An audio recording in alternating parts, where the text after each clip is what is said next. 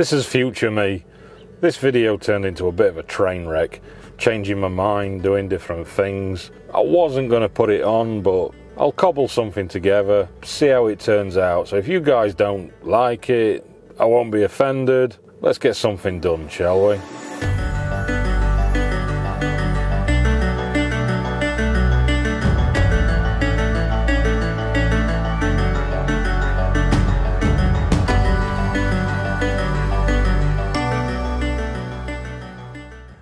Right, so a few weeks ago I did a video on fitting this gear knob here. I asked you guys what you fancied seeing next on this camper. And it's clear from the comments, you guys decided that we need to get rid of this orange on the dashboard. Do you like my t-shirt? I've started doing these t-shirts now. There's a link down in the description. There's a few bits down there, some t-shirts and stickers and hoodies, things like that. Thanks to everybody that's already bought one. Every bit helps and it all goes towards doing things for these videos. So cheers for that guys. Check out that description. Right, so what I'm going to do is I'm going to get rid of this orange that's on here. And we're going to change that for something else. Right, what I've got is some carbon fibre Hydro Dip and I've got some activator here as well. I got it from, from these guys. I bought it online from them. But what I'm going to actually do, in, instead of the normal hydro dipping, I'm going to do some ghetto dipping. Is instead of having a proper dipping tank and everything else, we're just going to use what we can find lying around and try and do it. I bought this last night from a hardware store. This is just a, a little tub. Hopefully it's big enough to fit everything in so we can do a bit of dipping with this. Well, the first job, we need to get those panels off. This first one, this literally just pulls up. Bit of a pain to do with one hand. That one pulls up and comes off. You can see I've got a USB charger in there. I'll disconnect that in a second. Right, that's that one off down there. Right, this next one, I've got to pull the radio out first, and then on the back of it, here and here at the other side, there's two T20 Torx bits we have to undo, and then it'll pull forwards. Right, so that's that ready. When you do this bit, just work it round slowly, just to unclip it all the way around do it steady and it'll come off. I've just got to unclip those switches there and there. I need two hands for that. Right, there's another one off. Right, this one here, round the back down there, there's a T20 Torx bit. You just have to undo that and then it comes out. I've already broke mine because I didn't realise it had that on at the beginning, so mine just pulls out. But remember yours, it goes into there. It's on the back down there. Right, this side, pull this end cap off. This just clips off. And down there there's a T20 Torx bit. Take that out. Once you've got that out this just unclips. Right this side same again. Just pop this little trim off. Down there is a T20 Torx bit.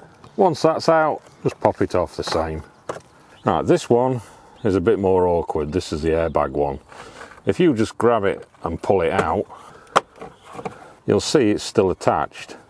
So what we've got is behind this glove box, there's some T20 Torx bits we have to get from the back so we can undo that.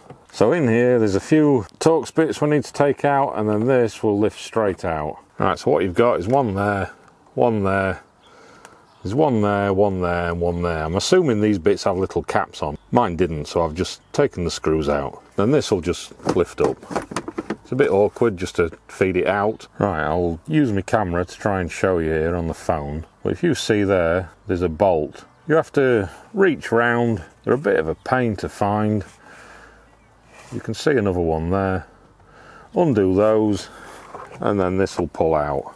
Right, uh, like I said, they are a bit awkward to get those out. I've just used a, a little ratchet with a Torx bit on it. You can't see what you're doing, so it's a bit, bit of a pain. But once they're out, this literally, right, there's actually four of them behind there. It's a bit awkward. I've just used a little ratchet. But once they're out, you can just prise the back out of the way, feed it out, and there you are.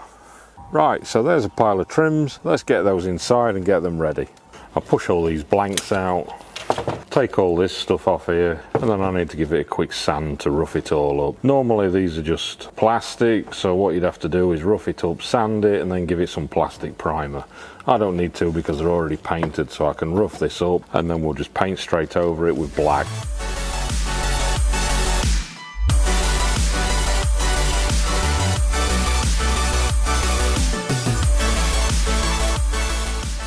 Right, so what I need to do is I need to paint this one black. I've already started those ones over there, they just need a few more coats and then we'll get them all black, ready for dipping.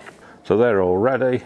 The Hydro Dip film, I've cut a piece out, just a bit smaller than this tub here. I've filled it up with water. Right, to see which side we want to put in the water, if you just lick your fingers and grab it, the side that it sticks to is the side that goes in the water, which is that side down there. The activator, I bought this stuff that's in a bottle because I've got a spray gun. A spray gun puts it on a bit nicer and it also works out cheaper doing it this way as well.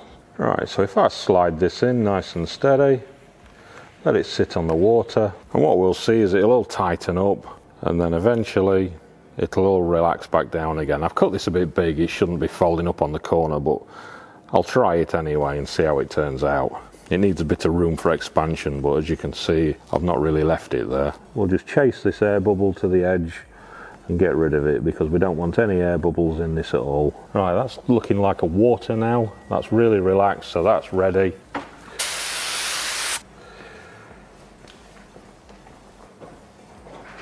Right, change of plan. It turns out the film's black and clear. I didn't even notice, so doing it over black, you can't see it. So I've painted these bits silver. Let's see how that turns out in a minute when these are dried, shall we?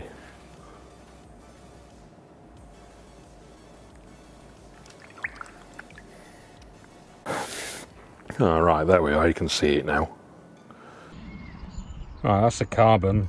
Uh, ignore the little dots in it, I dropped it while it was still wet. I'm going to do something different on all this, I'm not feeling that at all. Looks a bit tacky.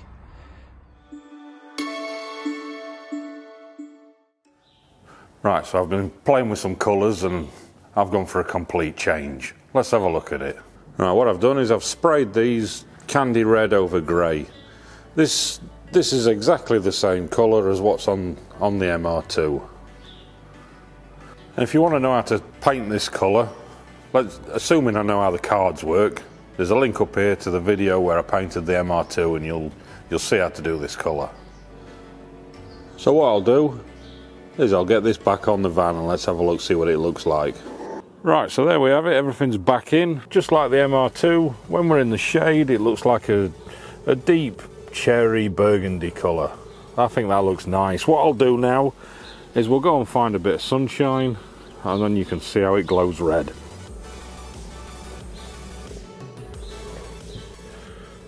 So there we have it, bit of sun hitting the colour so now you can see how it's changing from the deep cherry to a, a nice red.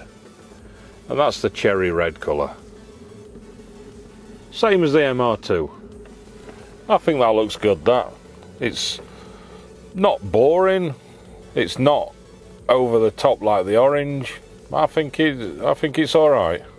Hopefully you guys like that colour. Um, the, to me the the carbon it looked a bit cheap and tacky, but I know there is some nice carbons out there, but the one I got wasn't that good to be honest, so I chose this colour and I think it looks alright. Hopefully you guys think it looks okay too. Anybody that lasted this long into the video, well done. I know it was a bit of a mess. I'll see you guys in the next video.